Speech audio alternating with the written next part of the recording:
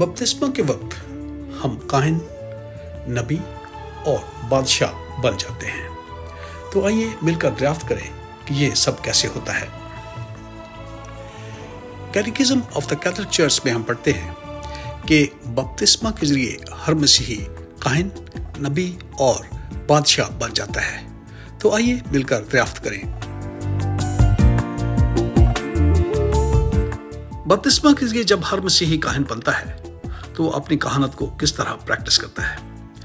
जब आप कुर्बानी देकर लोगों को खुदा के कलाम और उसकी तरफ़ रागब करते हैं तो दार हकीकत आप अपनी कहानत को प्रैक्टिस कर रहे होते हैं। जिस तरह काहिन अलतार पर कुर्बानी गुजरानता है, इसी तरह आप कुर्बानी देकर लोगों को जब खुदा की तरफ़ रागब करते हैं तो दार हकीकत आप भी उस वक्त कुर्बानी गुजरान रहे होते हैं।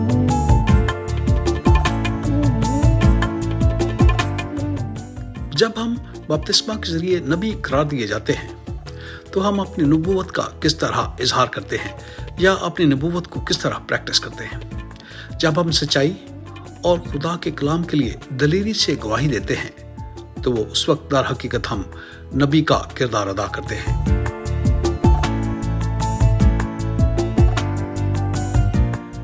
हम सब मसीही बपतिस्मा के ज़रिए बादशाह करार दिए जाते हैं। तो हम अपनी बादशाही को किस तरह प्रैक्टिस करते हैं? आइए मिलकर दरियाफ्त करें।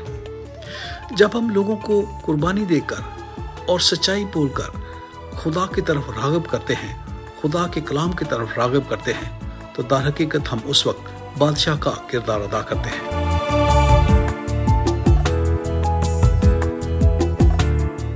अगर आपको हमारी ये वीडियो पसंद आई है तो इसे ज़रूर शेयर कीजिए।